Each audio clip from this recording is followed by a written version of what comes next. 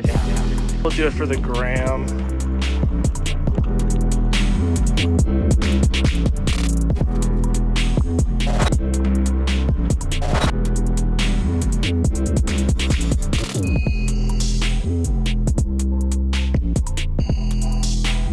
What's up guys, Alex from Ridgeline Defense, uh, up here at our range in Dalton, New Hampshire.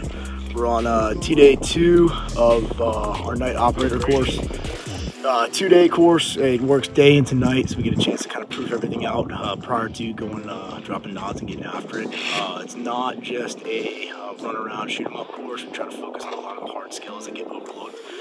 Everything from uh, basic carbine skills, shooting on the move, snap ups, multiple target engagements through um, transitions, and then a lot of heavy positional work, and then a focus on some more mechanics aspects, um, not just like reloads, but also malfunction drills and malfunction clearance, uh, both at white light and no light. Uh, and then we kind of finish up with a pretty fun FinX, uh, applying sort of all those lessons learned around uh, around vehicles.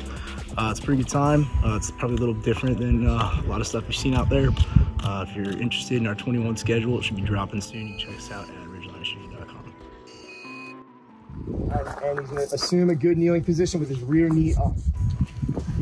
All right, now as he comes into position, he's gonna kind of step in, he's gonna get a sling wrap, and he's gonna sink down. He's gonna place his hand on the uh, barrel, all right, and he's gonna lock in nice and low, okay, as low as he can get.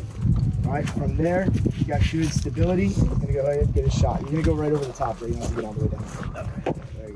All right, so from there, he's got great stability. We're giving stability to the gun, but these things like to roll, obviously, right? And just like trying to get, you know, slick sheet metal or anything else you're trying to grab, it's going to be a no-go. So he's going to continue rolling to roll into it. If this is too hard for you to get into with the rear knee up, you can go into what we like to call a double kneeling. Okay, Joe, go ahead, and recover.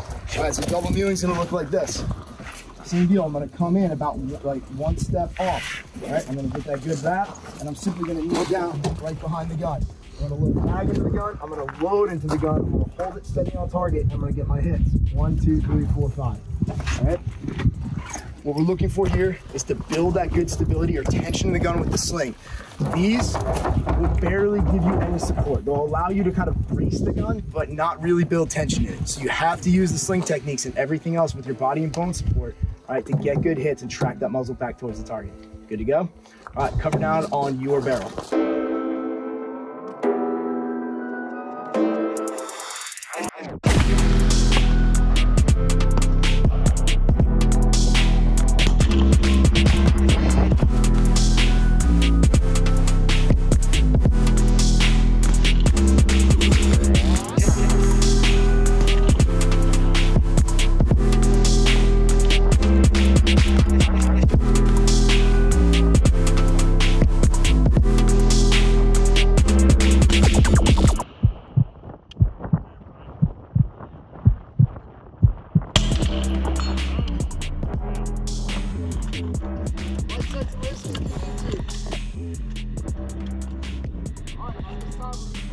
Costly shot what? Uh,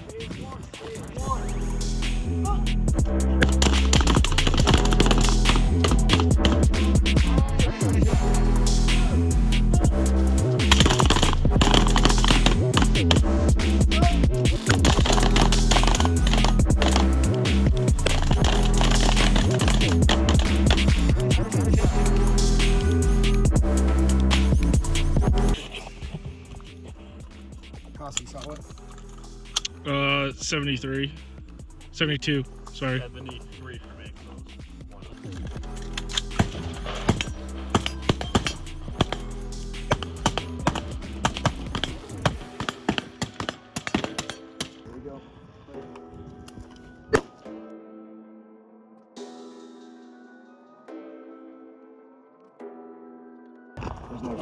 Rail. This is like a unibody car. Right, there's no, there's nothing back here at all. So normally, unless there's something in the trunk, which we can't open this thing, so who knows? Uh, that could be a dead hooker. All right. But Dead now. normally it'll it'll pierce right here. All right, and so you got a little deflection, kill the wheel, no big deal. But if you hang out here, the only thing between you and the and the hook is a very thin sheet metal. So if you're gonna go around the side here, keep in mind that at that point it is really only concealment. Okay, you're not actually getting any of the ballistic cover that the rear axle has uh, has to offer. Okay, any of those uh, wheels, the hubs, etc. So either go low or if you're gonna go high, go over the top and tuck as far close to that C pillar that's coming down, all right, and that wheel that's there as possible. Make sense? Try to line your magazine up with, if you're gonna play close to those pillars, line the mag up with the direction of the pillar. You and the gun as tight to it as